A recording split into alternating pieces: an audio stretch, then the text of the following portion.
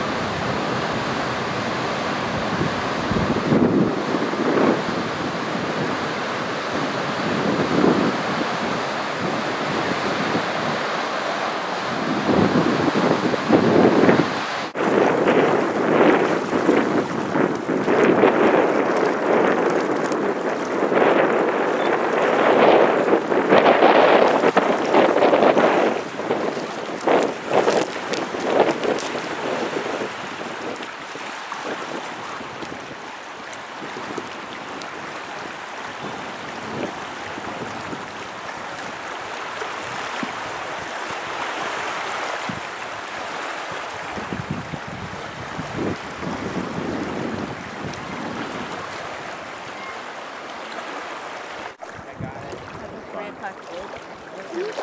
Yes, I, yes it is.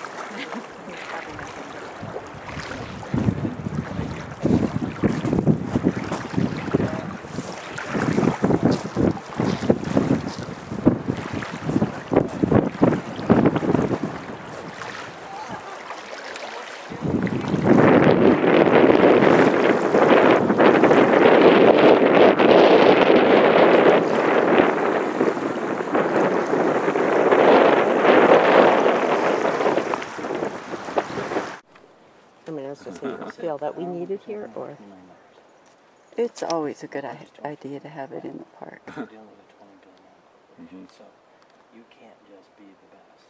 I have to know you're gonna be around. Yeah. Because when I start. And the only way you do that is you buy them.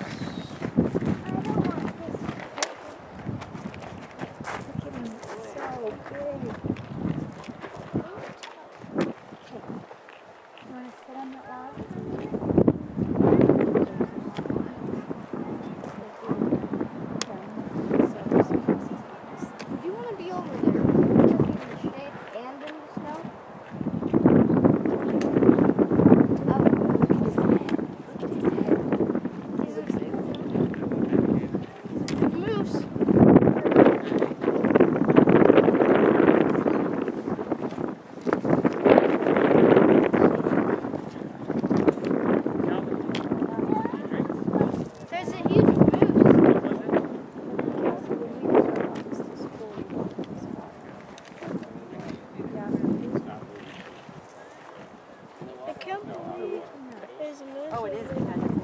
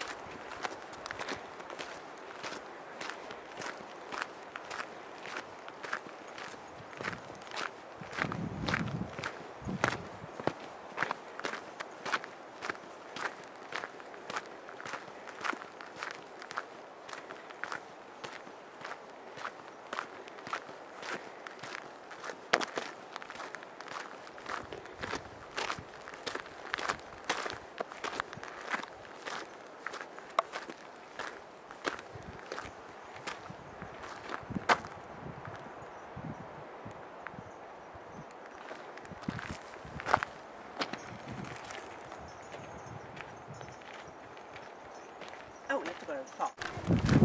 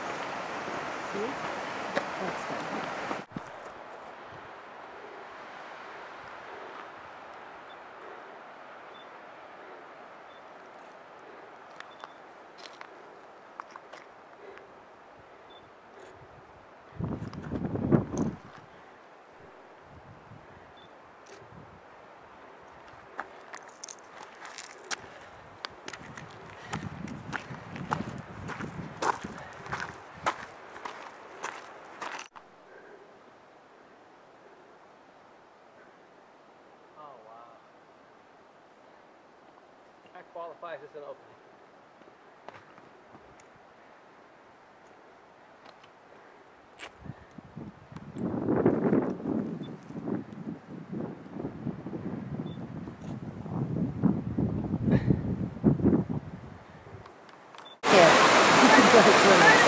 And I caught the waterfall. The one time there wasn't somebody in front of it. Yeah, I got it too. I got one too. Yeah, there was nobody in front of it.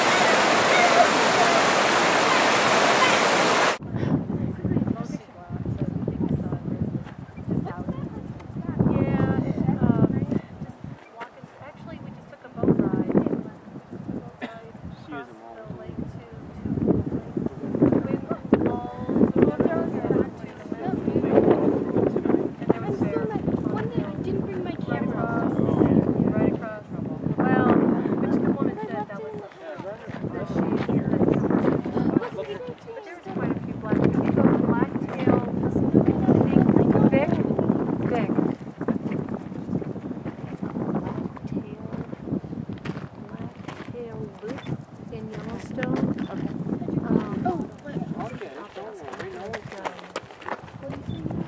the name of the trail, the black bear. Black, yeah, I think it was Blacktail Road. It's a six-mile loop. It's kind of a dirt road, but, but there was a mom with two babies, and I think she kind of just hangs out there. Right. I mean, it's kind of like pictures, you know she's not moving that much with the baby. I mean, you know, so All right, we're definitely. that was last last week. So you try it, and again, you just look for people that are snap it away. Yeah. Like okay, but um, yeah, so she was very fortunate. We see then we saw after we saw the um, we saw looked on the This is the shot that I would have gotten if it would have had its, if it would have had its head peeked up. yeah. It would have been like behind the grass. You see it? Yeah. Like the mountains in the back of it. That was sort of a few hundred feet away from the side. That could have been so good. She would have looked up though. I just gotta a little